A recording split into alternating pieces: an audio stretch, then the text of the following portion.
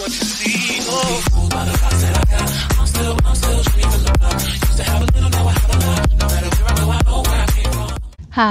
und hallo liebe Freunde, willkommen zurück hier im Spielepartys mit mir, The Maxi. Es ist mitten in der Nacht auf der Center Map. Da oben fliegt schon wieder mal ein Riesenstück Kacke von unserem Fiomia. Ich weiß nicht, wie das immer da hochkommt. Egal. Und hier tummeln sich alle auf einem Haufen. Ich habe so das Gefühl, da war mal wieder was Gefährliches. Aber wir haben inzwischen genug Bodyguards, die uns da beschützen. Und ihr seht hier, unseren Phony Dragon, der ist erwachsen geworden. Es ist ein richtig hübscher Phony Dragon. Und er hat jetzt mit dem Level, den ich ihm gegeben habe, 60.000 Leben. Ich denke mal, damit kommt er ganz gut klar. Ich will ihn natürlich noch reiten. Normalerweise macht man den Sattel in der Smithy, aber hier macht man den in der Pugnacia Smithy. Und genau, das ist die hier. Das heißt, die müssen wir uns noch craften. Und wenn wir das alles aufbauen, dann wird es langsam ganz schön eng hier bei uns im Haus. Ihr seht, da habe ich den Fabrikator hingepackt. Hier ist der ganze Steampunk, äh, das ganze Steampunk-Zeug. Äh, was brennst du durch? Nichts weiter, okay. Äh, wir könnten uns hier mal wieder ein bisschen Holz reinziehen. So 2000, wir haben ja noch genug. Dann können wir das auch wieder anmachen. Genau, nacheinander macht es dann hier die Kohle. Und wir können dann bald wieder Kopper machen. Ihr seht, ich habe auch schon sehr viel Kopper vorbereitet. Die, was wir dann ja hier in diese Kopperplatten umwandeln müssen. Und das machen wir jetzt auch gleich mal. Ich habe letztens, das sieht schon echt krass aus, wie das hier. Sehr schön. Ich habe letztens schon den Egg Incubator gemacht. Nur bringt er mir noch nichts. Denn ich platziere ihn mal ganz kurz. So. Keine Angst, wir nehmen ihn dann wieder weg. Powered by Steam from the Steam Press. Tja, das heißt, wir brauchen noch eine Steam Press. Das ist natürlich schade, dass wir da jetzt noch was brauchen. Vor allem, weil wir überhaupt keinen Platz haben. Steam Powered Press. Genau, used to create oil fertilizer, bla bla bla. Ähm, bei Steam attaches to Steam Coil Generator. Egal, jedenfalls schaut mal, da brauchen wir auch wieder mächtig Ressourcen. Und das heißt, wir müssen da schon noch ein bisschen sammeln, schmelzen, alles eben. Aber okay, das soll jetzt erstmal nicht unser vorderstes Ziel sein. Hier haben wir schon alles gemacht. Da können wir das ausschalten. Das ist auch schon alles durch. Das geht relativ schnell, dass 2000 Holz einfach durch ist. Aber okay. Die Pugnacia Smithy, die setze ich jetzt einfach mal noch mit hier in die Mitte rein. Die sieht ja geil aus. Oh mein Gott! Die ist ja toll. Schaut euch mal den kleinen Balbdoktor drauf an. Oh Gott, ist das niedlich. Das ist ja so süß. Okay, aber jedenfalls können wir jetzt hier unseren Phony Dragon Saddle machen. Wenn wir die Metal Ingots alle pullen könnten. Ich weiß nicht, warum das immer noch nicht geht. Dass wir hier uns das Metall rausziehen können. Ist jedenfalls sehr, sehr schade. Ich weiß nicht, ob noch was fehlt. Könnte sein, dass Cementing Paste fehlt. Wir schauen einfach mal. Denn ich habe noch was kleines Neues. Oh ja, Cementing Paste fehlt. Was uns dabei eigentlich helfen sollte. Genau. Hier vorne unser Schneckslein. Ich habe mir, als ich über den Redwood geflogen bin, einfach mal eine Schnecke mitgenommen. Die kann ja hier... Wow. Die produziert echt gut. Die kann ja hier rumschnecken, wie sie will. Hier passiert ihr theoretisch nichts. Und ihr habt gesehen, die produziert mächtig Cementing Paste und einen Haufen Polymer. Das ist echt krass. Das heißt, wir haben eigentlich keine Sorgen mehr, hier mit diesen Ressourcen und können uns auch direkt den Sattel für unseren Pony Dragon machen. Jetzt würde ich aber gerne nochmal schauen. Wir können Bionic Costumes machen. Ich glaube, das machen wir auch gleich mal. Denn ich würde gerne da mal meine Dinos sehen, wie die da aussehen. So, als erstes mein kleiner Pony Dragon. Bitteschön, jetzt können wir ihn auch reiten. Relativ schnell, relativ wendig. Sehr schön. Giftangriff, perfekt. Das freut mich. So, Beastie. Du bekommst jetzt ein Kostüm. Bitteschön. Yo. Das sieht natürlich auch cool aus. Jetzt sieht Beastie gleich noch ein bisschen biestiger aus. Das wäre natürlich noch cooler, wenn diese Kostüme auch irgendwas mit den Stats machen würden. Also wenn sie jetzt irgendwie zum Beispiel den Angriff verstärken oder die Verteidigung, also Leben, Lebenspunkte, wenn sie das verstärken würden. Das wäre natürlich ultra cool. Und ich muss sagen, das Raptor-Kostüm gefällt mir auch sehr gut. So, hier haben wir unsere beiden Bionic Dinos. Richtig cool. Sehr schön. Dann schauen wir mal schnell noch, was noch alles so in der Smithy geht. Consumables, Drugs. Hier können wir das machen. Ja. Sehr gut. Hier können wir das... Ah, oh, super. Das hilft uns richtig beim Zähmen. Sehr gut, das können wir alles hier herstellen. Oh mein Gott. Vielen Dank nochmal für den Tipp. Ich mu muss gerade mal nachschauen, wer von Team mir den Tipp gegeben hat. Ich glaube, es war Andreas. Vielen, vielen, vielen Dank. Mit der Pugnatia Smithy. Genau, Andreas. Super. Ich habe das halt echt nicht gewusst. Weightless Food is great for baby carnivores. Sehr gut. Das ist dann Baby Herbivores. Wow, cool. Das fetzt mir. Jetzt will ich aber mal sehen, ob wir noch mehr Bionic Costumes. Okay, Rex und dann ist hier später noch ein bisschen was. Das ist ja okay. Ah, sehr gut. Denn ich habe nämlich auch vor, etwas zu zähmen. Und da passt es natürlich super, dass ich das jetzt gerade gefunden habe, dass wir uns das herstellen können. Sonst hätte ich die armen Einhörner töten müssen und suchen müssen und töten müssen und ihr wisst schon. Warum hat mein Fiomia keine Bären? Was ist hier los mit meinem Beet? Schön, ist alles verschwunden. Ach Mann. Ja, dann müssen wir das halt neu ansetzen. Ist ja kein Problem. Können wir ja alles machen. Ich meine, unser Fiomia, das kackt ja auch fröhlich vor sich hin. Ist ja jetzt nicht so, dass wir da Notstand hätten. Warum knurrst du da? Das war nett gemeint. Das ist ja auch so. No more room for fertilizer. Sehr gut. Genauso habe ich mir das vorgestellt. Und zwar hätte ich gerne einen Argentavis. Da weiß ich gerade gar nicht, ob wir zur roten Insel vielleicht fliegen. Hier habe ich auch noch Fertilized Rock Drake Eier. 896 und 532.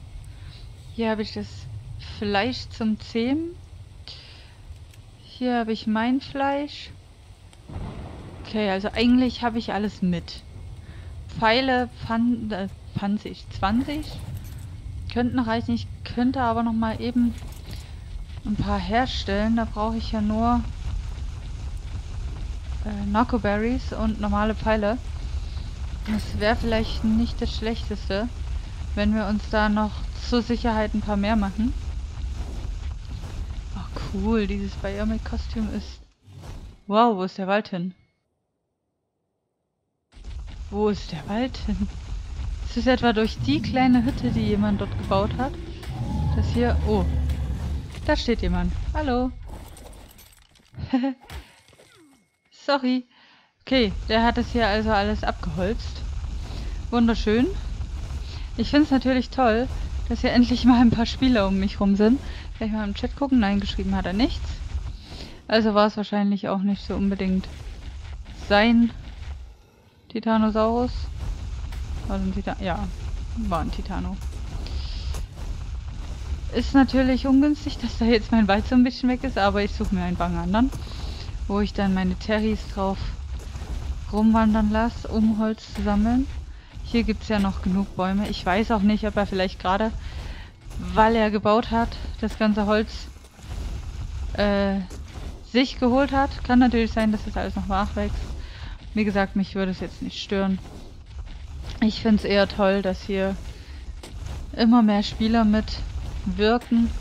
Und ich finde es auch schade, dass manche das Spiel so schnell durchhasseln und dann am zweiten, dritten Tag, wo, wo man hier auf dem Server ist, schon äh, einen Boss hat oder so. Das ist doch, ist doch doof. Das Waldmeat braucht man da sogar. Ah ja. Ach komm. Was willst du denn jetzt? Mach dich mal hier vom Acker. Sonst hole ich gleich Chucky und seine Braut. Und die werden dir dann zeigen, wo der Hammer hängt. Schlimm, dass die alle denken, sie können gegen mich und meinen Trike bestehen. Naja. Naja. Ich bin kurz mal auf einer hohen Wolke. Ich bin gerade relativ sicher, mich kann nichts so einfach besiegen wie sonst. Das finde ich schon mal sehr praktisch. Aber ansonsten bin ich wahrscheinlich für die Verhältnisse von anderen trotzdem noch ziemlich schwach, schwächlich und sollte mich schleunigst beeilen, dass ich hier ein bisschen mehr auf die Reihe bekomme. Aber keine Sorge, ich bin dran. Ich möchte mir jetzt einen Argentavis holen. Denn der kann ja auch ein bisschen mehr anpacken. Das heißt, wenn wir jetzt irgendwo was zähmen, dann kann der Argentavis äh, viel mehr tragen als jetzt der Petri. Und das ist eigentlich der Grund, warum ich ihn haben will. Denn, oh, ich habe Gehörner abgeerntet. Cool.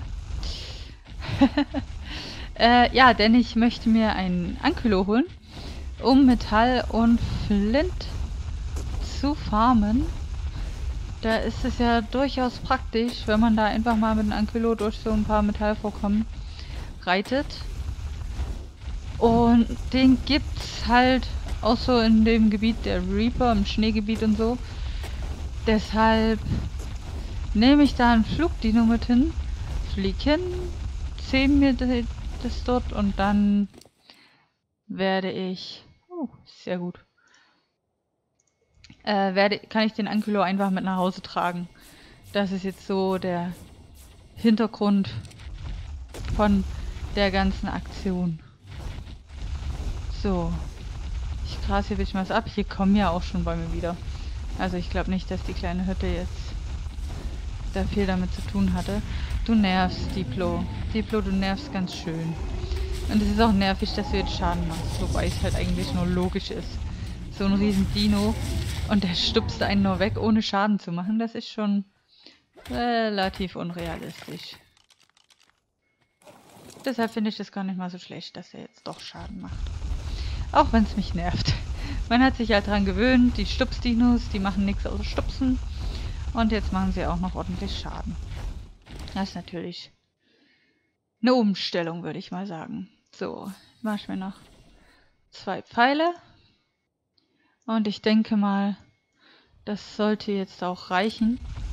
Wir machen uns auf den Weg zur Roten Insel, um uns dort einen Argentavis zu legen. Das Schneckslein, das schneckt hier so vor sich rum. Ich würde mal sagen, wir nehmen Robin und nehmen den Teleporter. Packen das Schneckslein vielleicht vorher aus der Reichweite, nicht dass wir dann dort mit Schnecke rumfliegen. So. Ich hoffe auch, das funktioniert alles. Ihr seht Teleporter, perfekt. Ich habe mir auch schon einen Teleporter aufgestellt. Ich hoffe, das ist okay. Da, wo ich immer Siliziumperlen und Öl sammle, da habe ich mir jetzt einen Teleporter hingepackt. Und ihr seht, da kämpft schon ein Argentavis. Level 308. Das geht noch besser. Das geht alles noch viel besser. Da unten ist erstmal ein Licht. Ich meine, okay, wir haben jetzt nicht so die krasse Verteidigung mit unserem Petri. Hm, Es ist jetzt auch nicht so ungefährlich. Ist das ein goldenes Licht? Ich weiß es gar nicht. Ja, mal probieren. Ja, geht. Sehr gut. Flaggschuhe. Perfekt. Ja, sehr schön. Ziehen wir uns gleich mal an und einen Megalodon-Sattel. Das ist auch okay. Das ist gar nicht mal so schlecht. Dann müssen wir den nicht craften.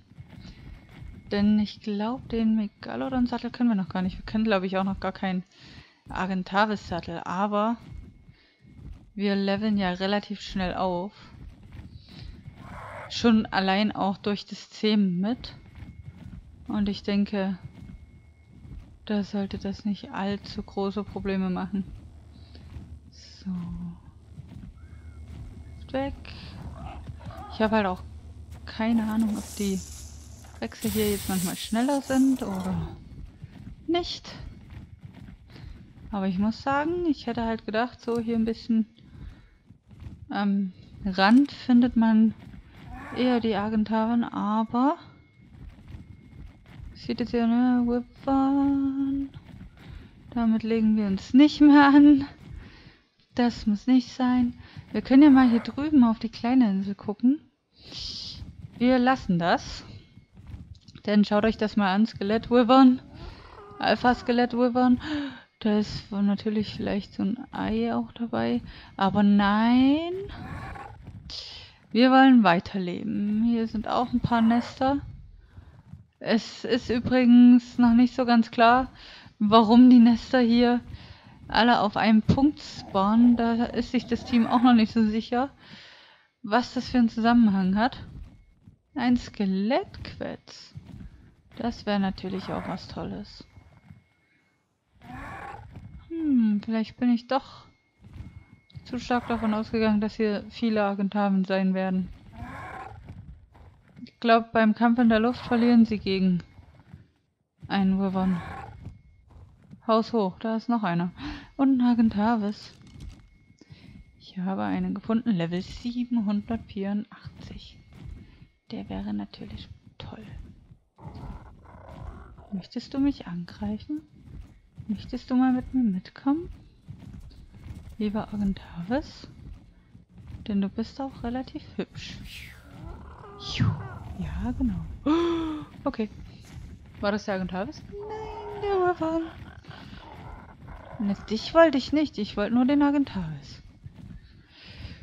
Aber okay. Wenn er mitkommen will.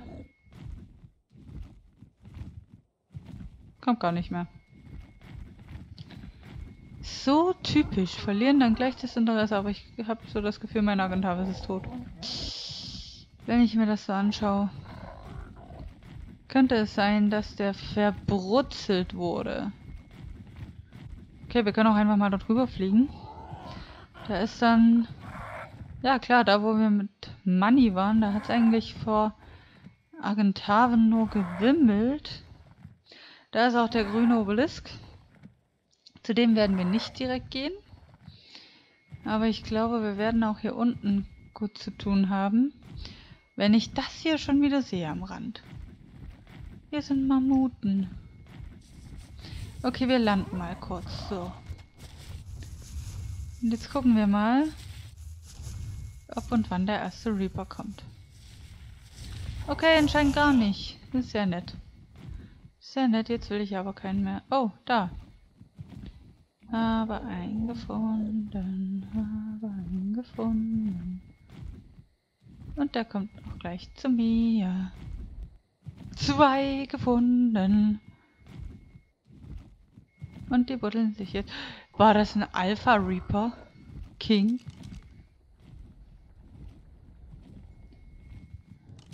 Ähm. Super, der ist unter mir. Lass mich dich doch mal... Ja gut, ob man das jetzt...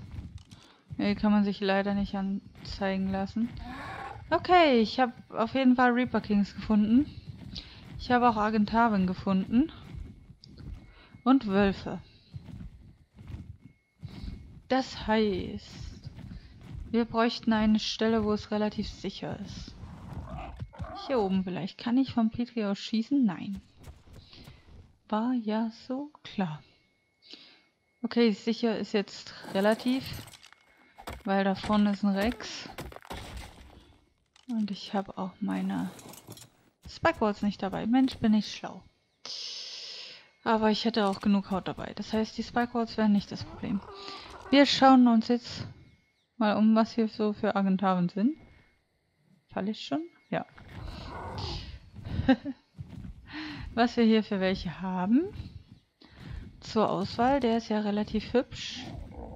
Der ist 812, 504 und dann war noch 504. Dann hätte ich doch bitte gerne den 812er. Wo auch immer der jetzt hingeflogen ist. Äh, hier. Hey, hey Dude. Hey Dude. Dude. Hey Dude, nicht darunter. Da unten ein Reaper. Weißt du nicht, was Reaper sind? Naja. Jetzt auf einmal. Hier ist auch relativ sicher, glaube ich. Ja. Der Agentavis kommt auch. Man sollte ihn halt auch treffen. So. Okay, dann machen wir jetzt einfach ein kleines Katz-und-Maus-Spiel mit ihm. Und locken ihn hin und her, bis wir ihn mal treffen. Der ist halt auch relativ schnell. Ich habe ihn doch getroffen, oder nicht? Nein. Eher das oder nicht. So, wir lassen ihn rankommen. Und fliegen wieder zurück. Landen diesmal gleich. Und probieren es nochmal. Ja, genau. Dreh ruhig ab. Dreh erstmal eine Runde. Ja. Die Flugbahn von dem Agentavis gesehen. Halt so gar nicht, wie man es vermuten würde. Hallo. Hallo. Ja, sehr schön. Agentavis Sim mal anders. Okay, 120 Schaden hat er gemacht. Hat ihm anscheinend auch ausgereicht. Hat wohl gedacht, er hat mich besiegt. So. Fliegen wieder zurück, landen und diesmal haben wir getroffen. So. Schauen wir mal. Ja, äh, also wir werden schon ein paar Pfeile brauchen. Vor allem, wenn der immer abdreht. Hallo, wie dämlich bist du denn, du Federvieh? Ah, ein Poison für Pteranodon, das wäre schön. Aber die gibt es ja leider nur bei Anunnaki. Oha. Nicht mein Petri. Ja, komm, komm. Ist halt auch schwierig. Zum einen, wenn der Petri so schlecht landet. Zum anderen, wenn das hier nicht funktioniert.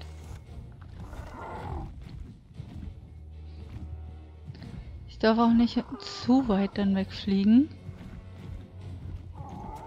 Sonst verliert er dann schnell wieder das Interesse. Ihr seht's. Genau so.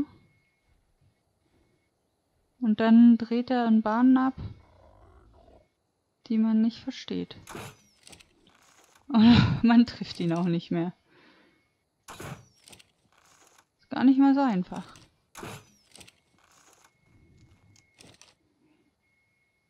Hallo. Ich bin doch nun hier. Du könntest mich ganz einfach essen. Ich glaube, die haben die Agentaren dämlicher gemacht. Ja. Du, das ist schon okay. Ah, das gibt's nicht.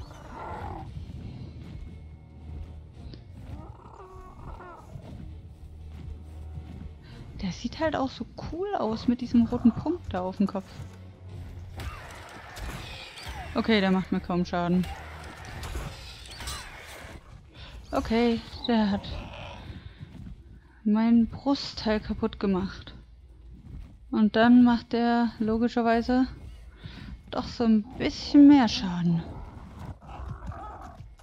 Na, Pfeil. Aua. Ist das schön. Wenn das immer nicht so funktioniert mit dem Nachladen. Wie ich mir das denke. Ich weiß, ich zähme ein bisschen umständlich. Und jetzt hat er auch schon wieder das Interesse verloren. Was hat er gerade gemacht? Hat er sich gerade hingesetzt oder?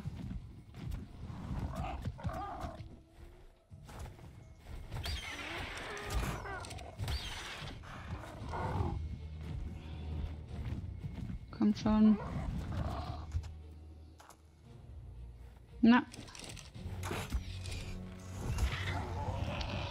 Ja gut, allzu viel Schaden macht er jetzt zum Glück noch nicht.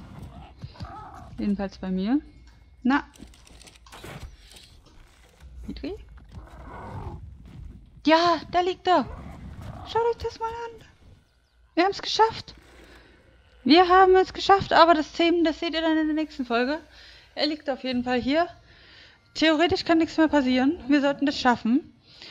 Erstmal vielen, vielen Dank fürs Zuschauen und bis zum nächsten Mal mit unserem neuen prachtvollen Agentavis. Macht's gut und tschüss.